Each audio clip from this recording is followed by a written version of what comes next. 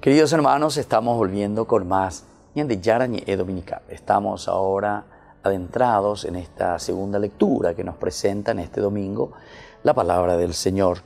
Tomamos de este libro tan interesante y tan bueno, ¿verdad? que hace una síntesis de una lectura que hace de todo el Antiguo Testamento. Y sobre todo le presenta a Cristo ¿verdad? como el centro de esta historia, es decir, hemos llegado al centro. Todas esas promesas que se han realizado en la persona de Jesucristo. Yo les invito a todos ustedes a leer este libro ¿eh? que se escribe, la carta a los hebreos, la carta a los hebreos. Leer, entender, de a poquito, ¿verdad? Ir mirando un poco, una y dos y tres veces si pueden leerlo, porque no es fácil leer la Biblia, ¿verdad? Y sobre todo en la medida en que ñañamindu uya ñañamindu uya estilo yanak que haya hoy, es decir, vamos ahí poco a poco sacándole el sumo, la fuerza, ¿verdad? ¿Eh? Que Dios nos va ofreciendo a través de su palabra. ¿Qué nos dice esta carta a los hebreos? Estamos leyendo el capítulo 11, 1, 2 y luego del 8 al 19. La fe nos dice que es seguridad de lo que se espera, ¿viste? La fe, seguridad de lo que se espera. Está muy en unión con esa primera lectura que decíamos que nosotros nos adherimos a Jesucristo. Pero es esa fe que de cierta manera nos hace pensar en esa venida de Dios. Tenemos esperanza, esperar, o pedirle hoy la esperanza. Ya no, porque yo estoy esperando, estoy esperando. Y eso entonces no decae y no tiene que esperar. Por eso se dice siempre que este, la esperanza najabeña, la esperanza najabeña, porque estamos esperando y esperamos, esperamos, esperamos, esperando. Apenas a mí. Es decir, siempre estamos en esa esperanza de que algo nuevo tiene que surgir. Y esa es entonces una fe total en una donación total. La najabeño, entonces la esperanza, entonces quiere decir que hay una fe en Jesucristo, una fe en Dios, que va a actuar y que está actuando. ¿Qué nos dice esta carta a los hebreos? Estamos en el capítulo 11, como decíamos. La fe es la garantía de lo que se espera. Ahí está. Garantía de lo que se está esperando. La prueba de lo que no se ve. La prueba de lo que no se ve. ¿Sabes? Porque ya ya Y esa es la prueba ¿eh? de que vos estás esperando. No imagínate ese colectivo, pero tener la esperanza que uina. Cuanto más ya no, yo sé que está más cerca el colectivo. Porque uino. Pero viste, Najamen quiere decir que vos estás esperando y estás confiando. Y esa es la prueba de que verdaderamente vos estás adherido porque estás esperando y estás firme allí, parado, esperando. Y bueno, por esta fe y por esta esperanza, ¿verdad? Para ella nuestros antepasados, por ella, perdón, por ella, nuestros antepasados fueron considerados dignos de aprobación, porque ellos siguieron esperando. Esa fe que nos da la seguridad, siguieron esperando. Y esto es digno de aprobación.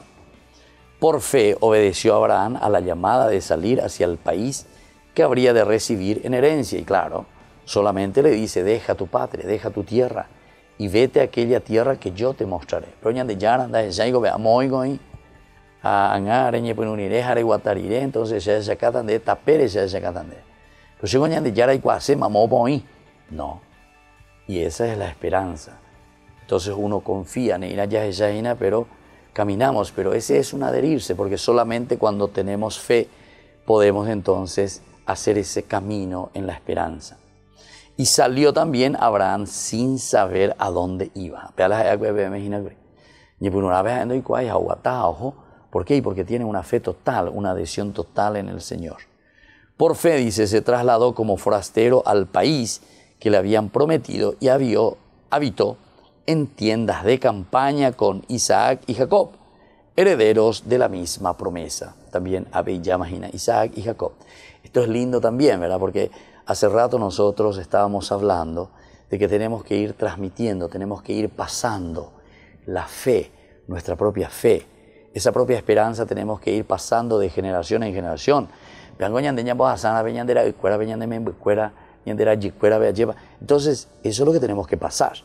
Y aquí te está diciendo que Abraham, ¿a quién le pasa? Y le pasa a su hijo Isaac, le pasa a su hijo Jacob, que ellos son herederos de esta misma promesa. Por otra parte, porque esperaba la ciudad construida sobre cimientos cuyo arquitecto y constructor es, Dios. Ellos están esperando, están confiando y saben. Entonces Abraham para nosotros es un modelo, padre en la fe, ya de lleva, porque él por esa fe se pone en camino. No pero está esperando, está esperando, sabe que llegará, porque se adhiere totalmente a esa promesa del Señor. Por fe, también Sara, aún pasada su edad, recibió vigor para concebir, concebir un hijo, estéril. Yo que ya soy estéril, soy vieja, pota. Sin embargo, ante esta promesa, y está la promesa, entonces yo espero, confío y creo en eso que el Señor me promete.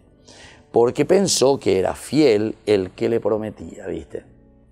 Esto también es importante, como hace rato decíamos que esto lo pasamos de generación en generación como un mensaje secundario, Isaac, Jacob, ¿verdad? Entonces que nosotros transmitimos nuestra fe. Por otra parte también dice, pensó que era fiel el que le prometía. Esta es una adhesión también a la fidelidad de Dios. Sabemos que Dios es fiel, sabemos que Dios nos regala todo lo que nos promete. Eso que Él nos promete, Él nos da, nos regala, nos ofrece. Así, de uno y ya cercano a la muerte, nació una multitud como las estrellas del cielo y como la arena incontable de las playas. tú y gusto vema, vema las ¿verdad? Porque justamente te hace esa síntesis. Es el Ab-Am, Ab-Am, padre de pueblos, el Abraham. Justamente este padre de los pueblos, ¿por qué se convierte en el padre de los pueblos? Y porque él creyó, porque él confió, y entonces, estos pues son los frutos de la fe, en síntesis. Si Abraham genera, alguien dice, mira lo que te dice, alguien ya cercano a la muerte, es decir, que Abraham o no te imaginar, y tú llamas, 75 años cuando le está llamando. Su primer hijo nace recién cuando tiene 99 años, su hijo, Isaac, ahí. Antes ciertamente nace, pero también es un camino. ¿verdad? Y también comete sus errores, eh, toma a Agar, por ejemplo, ¿verdad? Pero después, ante la presencia de un Señor que le dice, no, yo soy fiel, yo soy fiel. Y entonces ahí viene la esperanza. Y por eso te está diciendo, ya cercano a la muerte, sin embargo, de él nace una multitud como las estrellas del cielo, como la arena incontable de las playas. Queridos hermanos, pidamos entonces que el Señor nos siga acompañando, nos dé también esta adhesión total, ¿verdad? lleva, ya de Yara. Y de ahí vienen las consecuencias, ¿verdad? Esa espera que después se hace realidad. Volvemos enseguida con más Yara Dominical.